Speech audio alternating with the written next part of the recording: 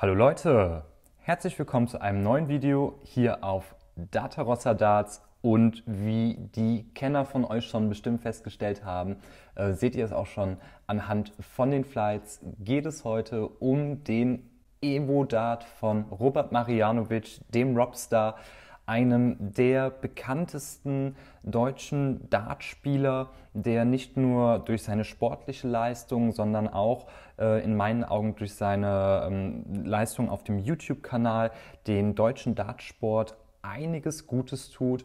Und ja, dieses äh, Review ist quasi schon äh, viel zu lange überfällig, denn ich muss euch unbedingt mal diesen Dart zeigen und ähm, euch erklären, was hat es damit auf sich und ähm, was kriegen wir da Besonderes geboten. Ähm, wir gehen mal auf die Einzelheiten ein. Und zwar ähm, kommt der Evo Dart vom Robstar in 90% Tungsten ähm, ja, mit der Nano Storm Point von Target geliefert.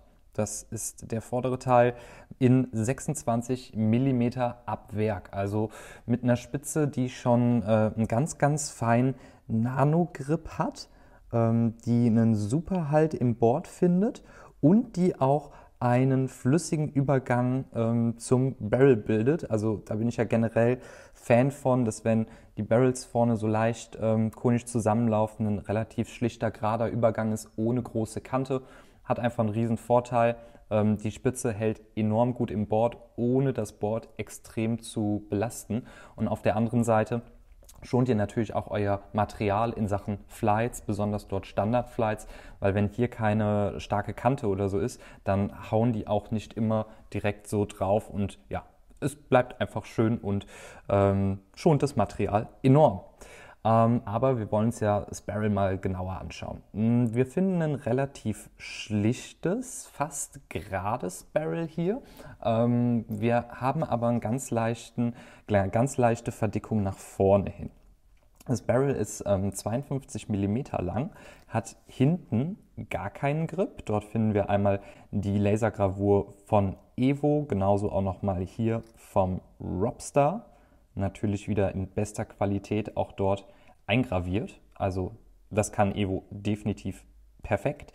Und dann ist ungefähr in der Mitte, ja, ungefähr so ähm, die vorderen zwei Drittel, finden wir dann einen sehr, sehr schönen gleichmäßig angeordneten Ringgrip, bis vorne dann quasi wieder ein ganz kleines glattes Stück kommt, wo der Dart sich dann dementsprechend äh, verjüngt und nach vorne zusammenläuft. Der Grip an sich, der ist ähm, gerade hier zu Beginn, wo der Dart noch recht neu ist, fühlt er sich schon gut stark an. Also es ist kein aggressiver Grip, kein Grip, wo ich jetzt sage, wow, das ist jetzt echt viel, aber ähm, es ist auch nicht so, dass er total glatt ist oder so. Logisch, hinten, da ist das Material so ein bisschen matter, stumpfer. Also ich will nicht sagen, da ist kein Grip, es ist jetzt nichts reingefräst oder so, aber ich habe natürlich schon ein bisschen so eine Haptik, ähnlich wie bei den Stephen Bunting Darts zum Beispiel, die ja auch sehr glatt sind, aber ja doch irgendwie einen gewissen Pack anhaben. Und ähm, das spüre ich dann natürlich hier, wenn ich noch einen Finger auflege oder drunter lege, habe ich auch ein kleines bisschen Kontrolle, aber bei weitem halt keinen starken Halt. Der Ringgrip an sich ist aber so angeordnet, dass ich mich gut orientieren kann von der Balance her. Also ihr wisst, ich greife am liebsten ziemlich weit hinten, was natürlich bei dem Dart für mich die absolute Katastrophe am Anfang war. Aber je mehr ich mich dann auch nach vorne oder in die Mitte getraut habe, also da, wo der Grip wirklich ist, umso bessere Ergebnisse hatte ich dann auch quasi im Wurf, dass ich sagen konnte, gut, die Balance ist tatsächlich bei dem Dart so angelegt, dass er für da vorne der Griff optimal geeignet ist. Ähm, wenn ihr mehr über den Wurf vom Robert erfahren möchtet oder wie er den Dart hält, dann schaut mal bei ihm auf dem Robstar 180 ähm, äh, YouTube-Kanal vorbei. Das ist ein Kanal, der hat mich von Anfang an fasziniert und begleitet. Also von wie werfe ich über Material, über Erklärungen, ähm, ist da alles vom Feinsten mit dabei. Also er macht da echt einen super Job. Schaut euch das mal an. Das ist wirklich der Wahnsinn, was der Mensch dort leistet.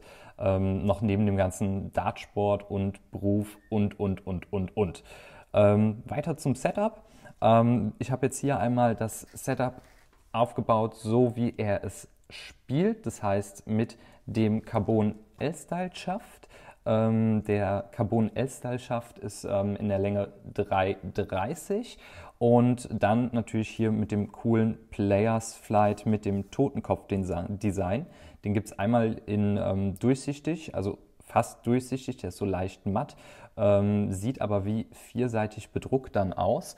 Oder auch in der schwarzen, ich sag mal etwas partymäßig angehauchten Variante, die mir auch sehr, sehr gut gefällt, die ich sogar fast lieber spiele, ähm, wegen dem Kontrast auf dem Board. Ähm, ja, aber nichtsdestotrotz ein mega System. Insgesamt, so wie er es spielt, auch sehr lang. Also ich habe es mal ähm, ausgemessen, wir liegen da über 15 Zentimeter ähm, von der Gesamtlänge des Systems. Ähm, ist für mich sogar sehr, sehr lang. Ich bin ja eher so derjenige, der kürzere Schafts ähm, spielt, ähm, der dadurch ja, irgendwie ein bisschen mehr Vertrauen hat, Schnelligkeit hat. Ähm, mit dem langen System ist er auf jeden Fall super ähm, stabil in der Luft und hat mit kürzerem Setup bei mir auch überhaupt nicht funktioniert. Ähm, und dazu schauen wir uns jetzt mal das Gameplay-Video an, gucken mal, wie der Dart im Gameplay abschneidet und was ich so nach einer ganz kurzen Eingewöhnungsphase dort rausholen konnte. So, wir schauen uns mal im Gameplay die Darts ein bisschen ähm, genauer an und hier kommt auch schon der erste Fail direkt am Anfang und zwar laufe ich erstmal schön mein Stativ um. Ähm, deshalb switchen wir einmal die Anzeige nach links, ähm, dürfte aber dem Ganzen eigentlich ja, nichts ausmachen. Ähm, ja, es ist ein super interessanter Dart, ähm, meiner Meinung nach. Vom Flugverhalten jetzt so ganz zu Beginn ähm, wirklich ja, schwierig für mich zu spielen. Ihr wisst alle, ich greife sehr, sehr gerne die Darts hinten. Da hat der Dart halt überhaupt keine Haptik, keinen Grip. Daher sind auch die ersten Würfe hier noch kreuz und quer. Ich habe äh, mich damit nicht lange eingespielt oder so. Also lasst das mal vielleicht jetzt das äh, vierte Leck oder so sein, was ich mit den Darts überhaupt spiele. Ähm, von daher war es ein ganz komisches Gefühl, das auch mal direkt dann aufzunehmen. Ihr seht auch hier, ich komme mit der Höhe noch gar nicht so richtig zurecht, bin mal viel zu hoch, viel zu tief. Ähm, aber ja, je mehr ich den Dart gespielt habe, umso ähm, angenehmer wurde er und umso sicherer wurde ich auch. Ähm, er hat eine ganz feine und schön schöne Balance, das muss man einfach so sagen. Also ähm, irgendwie was ganz Besonderes. Ich kann es noch gar nicht so richtig greifen oder euch so viel näher beschreiben oder so, aber es ist super ausbalanciert. Übrigens hier auch schön gestellt auf 163 Rest. Ähm, ja, also wie gesagt, ein kleines bisschen Gameplay für euch, ähm, aber ja, bei weitem nicht das, was äh, ihr natürlich von Flo gewohnt seid. Aber ähm, ja, Hauptsache ein bisschen mal die Darts sehen im Board, mal sehen, wie die so stecken, wie die so fliegen. Ähm, ich finde die ähm, Spitzen, diese Nano-Storm Points, die da mit äh, drauf sind, direkt ab Werk, finde ich mega, also total cool. Ähm, so, da brauchte ich jetzt ein bisschen länger.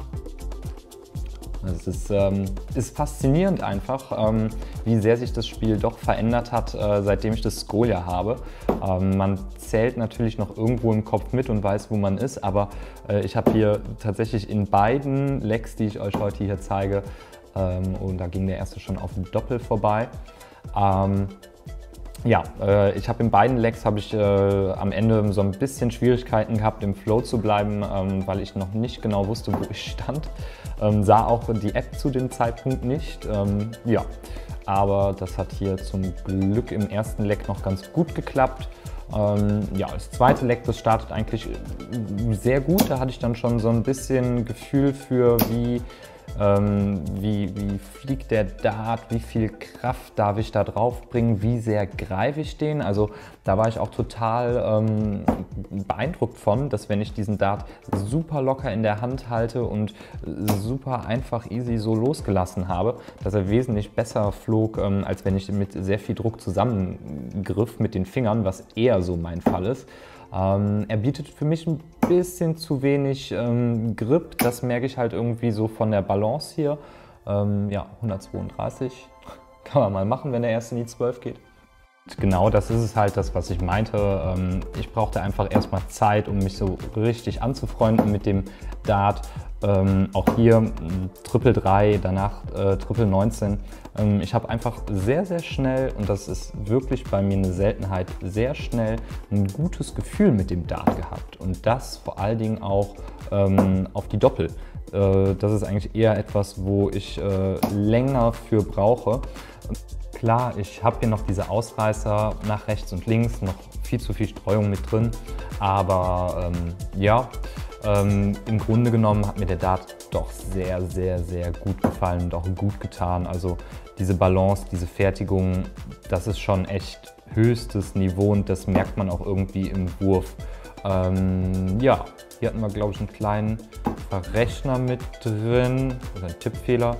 Aber naja, auch das müssen wir jetzt mit hinnehmen. Ähm, ja, nehmen wir mal die 71 äh, Rest und äh, das, wie gesagt, im vierten Leck oder so, was ich mit dem Dart überhaupt gespielt habe, ähm, dann auch auszumachen. Äh, ja, das hat mir sehr, sehr gut gefallen und hat mich da doch sehr glücklich gestimmt. Gut, Gegner Level 5 ist jetzt nicht der Mega-Hit, aber hat Spaß gemacht. So, wie ihr gerade im Gameplay gesehen habt, ähm, ja, nach ein bisschen Orientierung, nach ein bisschen Einwerfen lief es bei mir schon ziemlich straight und gut. Da war ich echt baff. Ähm, wie gut ich den Dart dann doch unter Kontrolle hatte. Und ich habe so viele Darts in letzter Zeit in der Hand gehabt und getestet und so viele verschiedene Hersteller, Fabrikate, Formen, Griparten und, und, und. Und ich muss sagen, ähm, ohne jetzt den Dart irgendwie ähm, hochzupreisen oder so, er ist so schlicht und trotzdem so perfekt ausbalanciert, dass ich spontan ich glaube, dieses Jahr auf jeden Fall am schnellsten und besten äh, von allen Darts mit dem zurechtgekommen bin und spiele den jetzt auch äh, liebend gerne im Training. Ähm, ja, ich möchte noch mal kurz auf das Thema Verpackung eingehen. Ähm, das ist mir nämlich neulich beim Kai Gotthard ähm, äh, Dart, den ich euch ja reviewed habe, ähm, entgangen. Äh, beziehungsweise ich habe einfach nicht mehr dran gedacht. Die Verpackung ist eigentlich mega cool gemacht, dachte ich mir, weil die lässt sich halt einfach von unten aufschieben. Also die ist äh, auf beiden Seiten offen und lässt sich dadurch gut aufschieben, ohne dass diese Verpackung großartig leidet. Ähm, Finde ich mega stark, denn mich regt ja immer auf, wenn ich irgendwie Dartverpackungen aufmache. Ähm, gerade zum Beispiel so wie hier ist oben so eine Lasche und dann zieht man an der Lasche irgendwie mehr oder weniger vorsichtig oder so und dann reißt es hier ein. Ne? Also da könnte ich schon könnte ich schon immer schreien, auch wenn ich mal gebrauchte Darts oder so kriege, dass man meistens die Verpackungen leiden und dann nicht mehr schön aussehen. Also gerade bei solchen Verpackungen rate ich euch, versucht die mal unten aufzumachen, da ähm, leidet das Ganze meistens weniger. Zurück zum Dart. Der Dart, der kommt nicht mit dem L-Style-System standardmäßig geliefert von Evo, sondern wie ich schon ähm, auch beim Kai Gotthard Dart ähm, gezeigt habe, kommt der mit einem ganz normalen Kunststoffschaft, einmal in der kurzen Variante mit 32 mm und einmal in der etwas längeren Variante mit 42 mm und auch dem Standard Evo Flight, der direkt vorgelocht ist mit dem Ring hinten drauf für optimalen Halt auf dem Schaft. Ähm, ja, Ihr bekommt die Darts in 19, 20 und 21 Gramm Barrelgewicht. Das heißt, wir rechnen die Spitze nochmal vom Gewicht her mit dazu und natürlich euer individuelles Setup. Ähm, kam jetzt bei meinen Sachen auf ähm, 24 bis 24,5 Gramm. Ähm, ist auch ziemlich so das Gewicht, was ich ähm, insgesamt am liebsten spiele. Ähm, also von daher nach kurzer Eingewöhnung ein super Set Darts. Ihr bekommt die Darts natürlich bei Evo auf der Seite. Mich fragen aber auch immer viele Leute, hä, wo kriegst du denn deine signierten Sachen her oder etwas zum Sammeln oder was Besonderes. Und da schaut er einfach mal in den neuen Shop vom Robstar, denn da verkauft er nicht nur die Darts und ähm, Zubehör, sondern auch signierte Sachen. Dort kriegt er sein Dart-Shirt und, und, und. Also auf jeden Fall eine sehr, sehr coole Sache dort ähm, für Leute, die einfach auch noch was Individuelles haben möchten oder was zum Sammeln haben wollen. Ich lege euch den Dart mal ans Herz. 112 Euro kostet der im VK. Ähm, ich bin froh, dass ich ihn mir gekauft habe. Ich habe zwar lange mit mir gerungen, weil ja, Darts über 100 Euro mh, hm, ist immer natürlich so eine Entscheidung.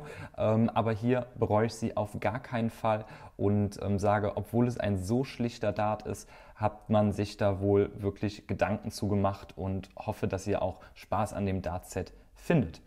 An der Stelle sage ich wie immer vielen Dank fürs Zuschauen. Ich wünsche euch viel Spaß beim Ausprobieren Good Darts, euer Data Rossa.